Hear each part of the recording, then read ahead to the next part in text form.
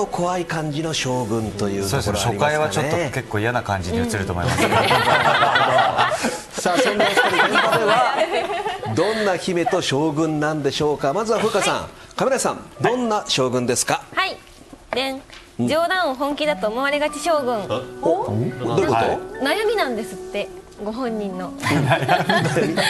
悩み。というか、まあ、会話とかの中でええ。結構こうこっちは冗談で言ってるようなことも、あそうなんですね、へえって思われちゃうんですよ。具体的に例えばこう役者さんとかとお話してて、いや最近絞ってますよね。あちょっと体絞ってる、もう1か月半ぐらいもうちょっと水分しか取ってないわ。へえいやいやいやいやそれはない。それはないよ。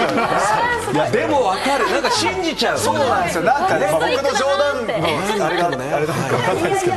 さあではカメラさん、はい。現場での風花さんはどんな姫ですか、はい、こちらです。どう、カイロ姫はい